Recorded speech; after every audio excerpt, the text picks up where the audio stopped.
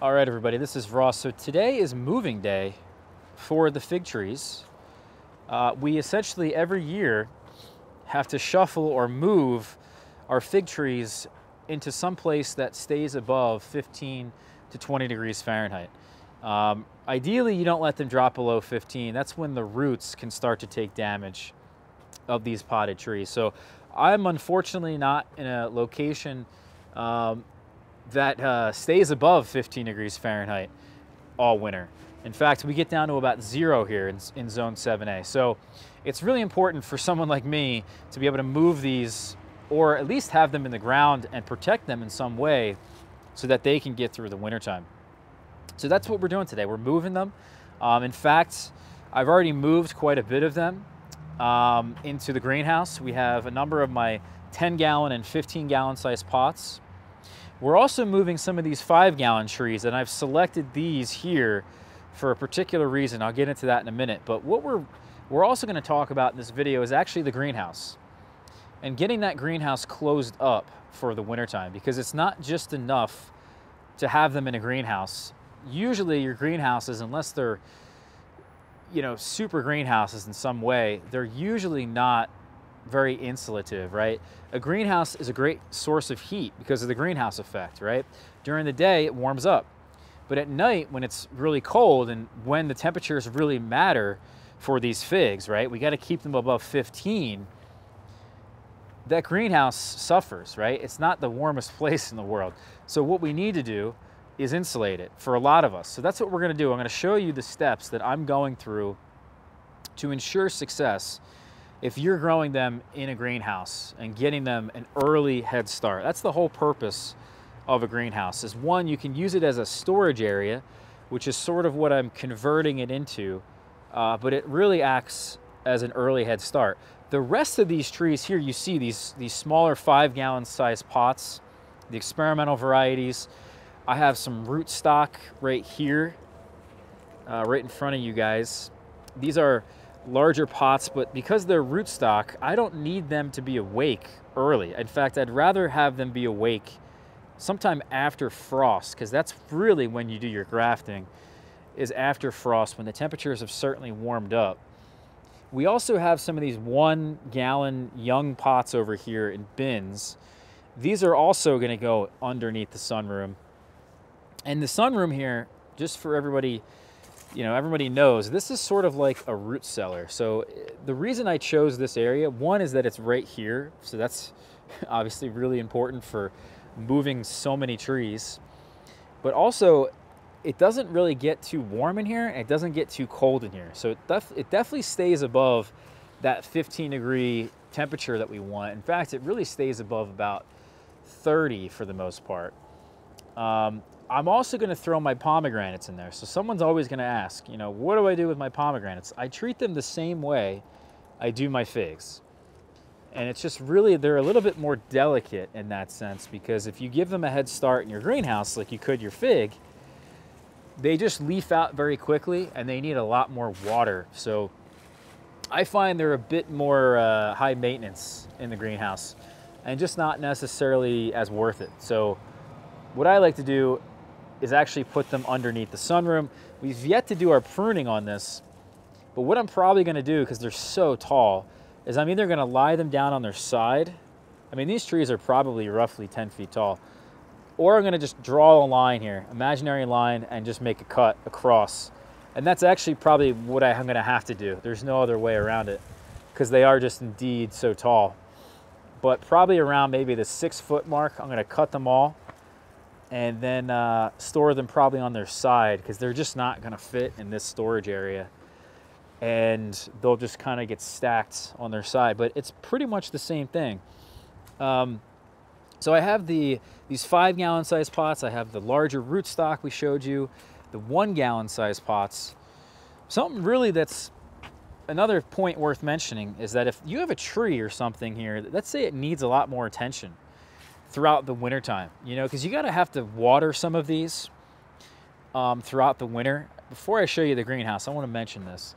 You know, it gets a little dry in here, especially throughout the course of the winter. So what you really want to do is you have, take some mulch here and I'm just gonna sprinkle this mulch on top of all the pots. So they've all been sitting out here in our fall. It's been quite rainy, so the soil is saturated, right? It's really well watered. If it's not, water them all in real well before you put them away. Cover them with the mulch. That mulch is gonna keep that water, that moisture in the soil for as long as possible. And in fact, if you put enough mulch on these trees, you won't have to water a single tree the entirety of the wintertime. And I've done this for multiple years, and that's really like six months of them being in this this uh, this root cellar here. So I just leave them in there. I forget about them. I come back six months later. I take them out, and then I give them a nice water. Now, if you have trees like I mentioned that are maybe are a bit more sensitive, they're smaller. They don't have as much soil like these one gallon size pots, they're more sensitive. So what I'm gonna do when I put all this stuff away is I'm gonna move them all underneath here and I'm gonna put the really sensitive plants right at the entrance of this that are easy access so that when I do water my trees this wintertime, because these younger ones here in these smaller pots, they're gonna need at least one, maybe two waterings this year. Again, mulch them, care for them. Even these, uh, you know, these eggplants I dug up, these peppers I dug up, they're probably a bit more sensitive. So I'm going to certainly have them in a more accessible place. Now, moving on to the greenhouse, because it's getting actually kind of cold, man.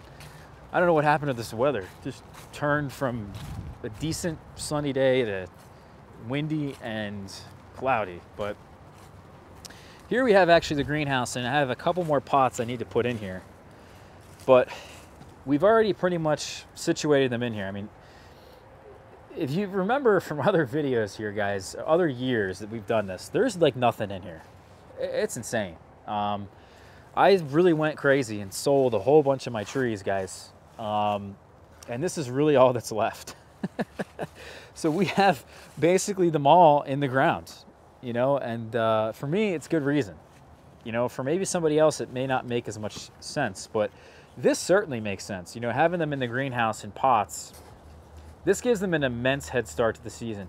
Uh, you know, a lot of these are going to start fruiting for me like July 1st. It may even be a bit more dramatic this upcoming season just because of how much is not in here. I mean, how much attention I'm going to be able to give these trees as well. So we don't really have a whole lot in here, but what I've essentially done is stack them up. This is always a good method of storage. You put the bigger trees on the bottom, the mid-sized trees on top, and then you could fit even smaller trees on top and just keep stacking them high. I've had them like four or five trees stacked high in the past. Um, so that's all I've really done here is just move them in here, get them situated. You know, the trees on the lower tier of the stacking, they have a colder soil. So they're going to wake up later. They're not going to need as much water. But anything on this top tier that's smaller, especially these five gallon pots, these smaller trees here that I have elected to move about 10 of them in here, you know, they're really going to suffer in this greenhouse in the spring if you don't give them enough water because it's going to be very warm in here with the help of this heater, right? I have a space heater in here, guys, that warms this up. Plus, there's the greenhouse effect during the day that warms up this greenhouse. And I just turn on the heater at night to keep the temperatures in here about above 50. And if you do that, you have success. You don't want to turn up the heater too much, I've, I've learned over the years. But so we've got everything in here essentially. The, the only last thing to do, and I haven't done this, is actually get myself the mulch on top of some of these pots. And that's all it is. That is really key. That mulch, guys, especially in this greenhouse environment, it's it's insanely beneficial because that water you just can't water them enough in the spring. I mean, you got to be out here like every every other day almost. Um, so that mulch really goes a long way.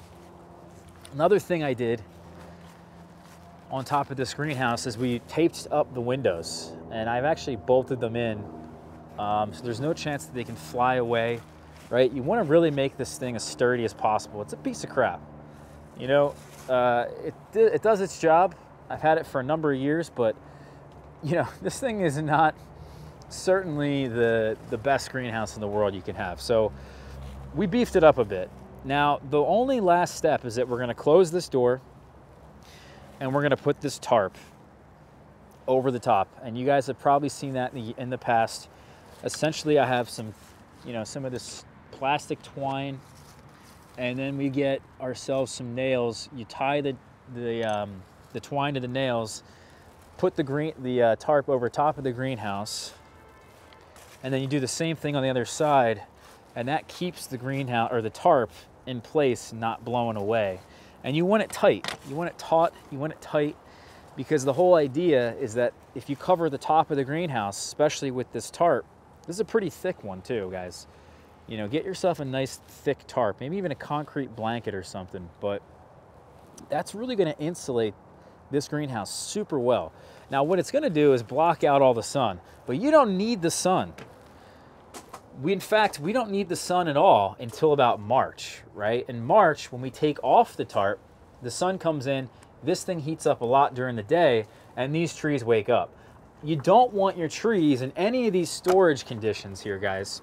Whether that's your root cellar, your greenhouse, your shed, your garage, your basement, you don't want them waking up in like January or something. So really, really important that some of you guys always do every single year. And I always get the question, well, Ross, what do I do? Because now my trees are awake and I have no idea how, what to do. Because now my, you know, my trees are awake and I'm like, well, they're in my basement and there's no light there. So basically at that point, you're kind of just screwed. I mean, I'm, so, I'm, you know, sorry to say it, but that's sort of the last thing you want. And if it does happen, you want to give them as much sunlight as possible. Maybe even shuffle them in and out in natural light. And of course, put them somewhere in a colder environment until it's like March or April or May or whenever your last frost is. Because ideally, as I said, you don't want these things waking up too soon. A frost could come in, um, they're just in an environment that's not suitable, and you get growth, let's say, in the beginning of the year that's just really weak, really spindly. It ruins your entire season. So that's a huge mistake people make, as I said. I'm gonna finish stacking these trees up in here, getting those five gallon pots I want in here. Again, I'm gonna put the tarp over this, close the door, I'm gonna call it a day. And uh, tomorrow, I guess, or some other day, we have to move the rest of those trees underneath the sunroom with the pomegranates. I gotta really get everything mulched. Um, I gotta organize actually underneath the sunroom in that root cellar because it's, it's a mess um, just to give myself as much space as possible. And then uh, the last thing here of the winter prep is just to use the cut and cover method. We've already cut them back, these in-ground trees. Straw, tarp, hold down the straw with something very uh, heavy, like these bricks, as you see here, these red bricks, bags of soil, bags of rock, sandbags, you know, whatever. And we'll be done We'll be uh, everything will be situated here for really the next five months at least. Um, yeah. So anyway, stay tuned for those videos, guys. We'll see everybody soon. Um, again, today was moving day. Hope you guys can hire some movers or something. All right. Take care. We'll see you soon.